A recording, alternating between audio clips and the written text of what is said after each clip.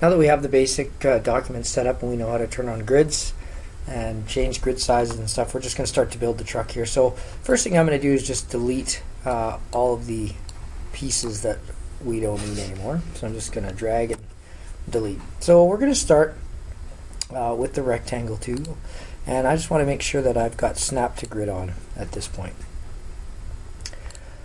So we're going to build this truck and it's going to take and drag a box uh, about like that most of the way across. This is going to be the shell and then we'll build the cab and we're going to need to make the uh, outside of the wheel wells here. So I'm going to go over to the rectangle tool and if you hold your mouse button down and let go on this side arrow you get these flyout menus which gives you options to all of the different tools. So I'm going to grab the ellipse tool and what I want to do is make a circle. Uh, now to make a circle the easiest way is to actually hold the shift button and it will keep it in a circle no matter what size and if you hold shift alt you can lock the circle into place so that you're dragging it from the center. So I'm going to start my wheel down on one of these lines here and I'm going to click and drag and I'm going to hold shift alt and I'm going to make the wheel roughly that size and I'll do the same thing over here and because I've got snap to grid on so shift and alt then the wheels are going to be uh, fairly easy to be um, to lock to the same size. Next I'm going to grab the rounded edge tools. And so there's two ways to build and use all these tools. One is to click and hold and drag and let go. The other one is to just click in place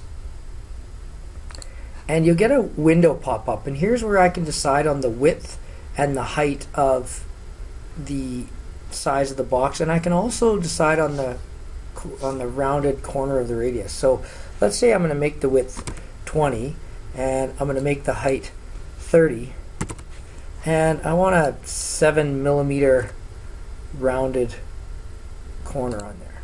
And so that's what that box would look like in that case.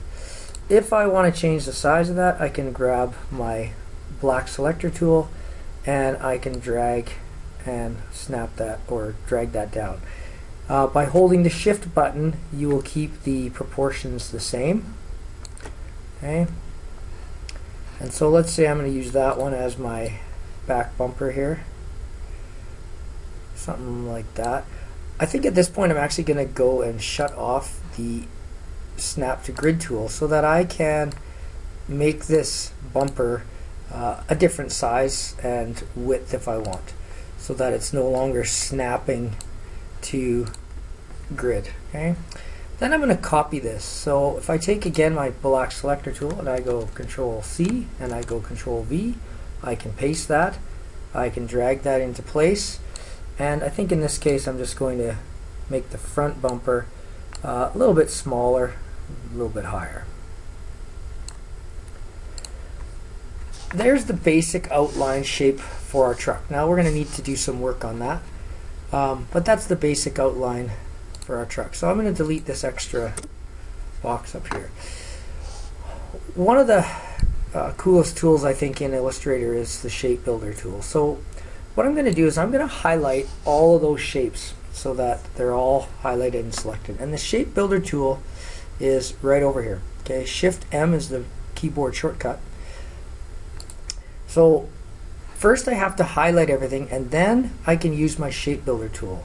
And when I use my shape builder tool, if I hold the mouse button down and drag it across different sections, you'll see that it's turning it into one shape.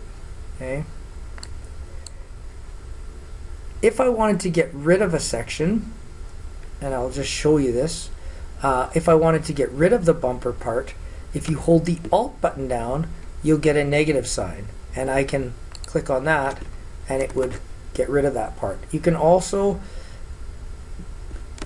just get rid of sections of line this way as well. Okay, but for this case, we're actually adding all these because I just want to create an outline shape for the truck. So we've got something like this. Now there's a few things that I want to do uh, to modify this. I'm going to grab my pen tool And again, if I hold down and let go on the flyout, I've got my pen tool.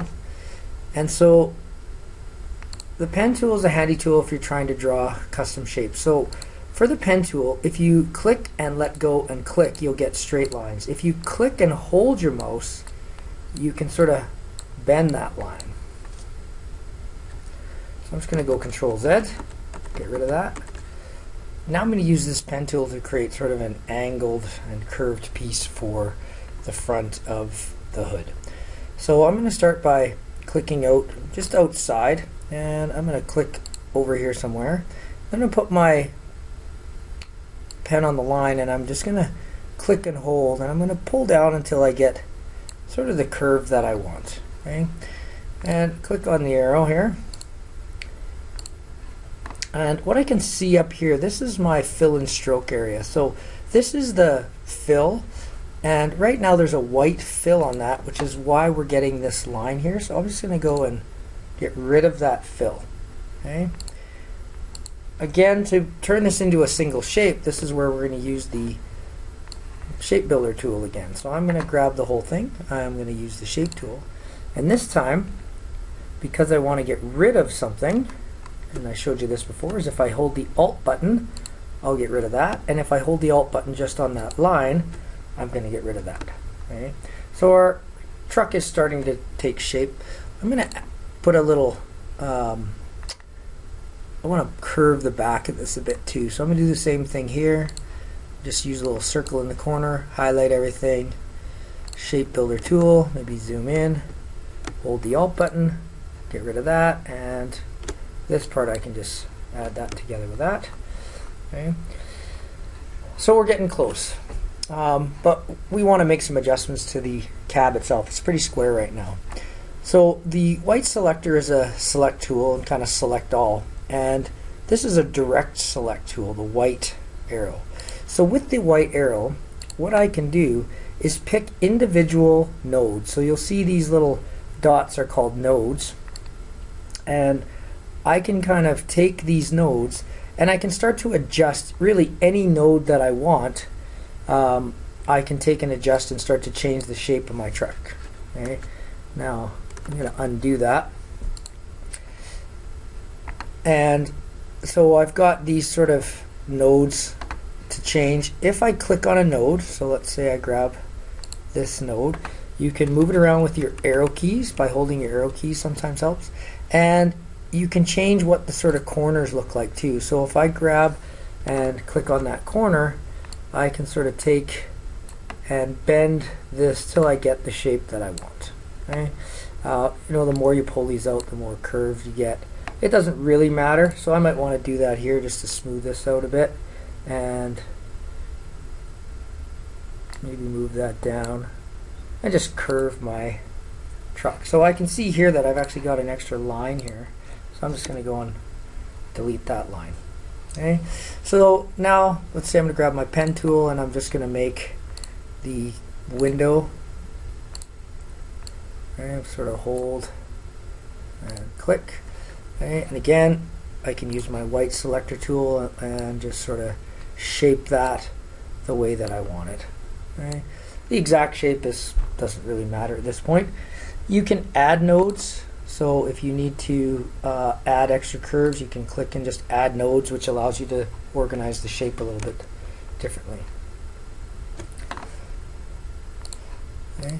So this is now the outline shape of our truck and the last bit we're going to do is just sort of fill in the insides of different pieces. So uh, the laser, as I said, works on color. Things that are black, it's going to kind of engrave, and things that are white, uh, or have a red line around them, they're going to, it's going to want to cut out. Okay, so I'm going to engrave the window.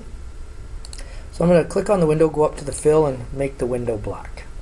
The outline of the truck itself, we want to cut out. And we want to go up into the, here, the outline stroke, and select RGB red. And the size of the uh, stroke is critical, and it's a 0.5 stroke. If it's a thicker stroke than that, the laser won't recognize it to cut it out. And so you want a 0.5 of a point or a half a point line or stroke width on the outside of this object or anything else that I wanted to cut out. Next we're going to work on the wheels.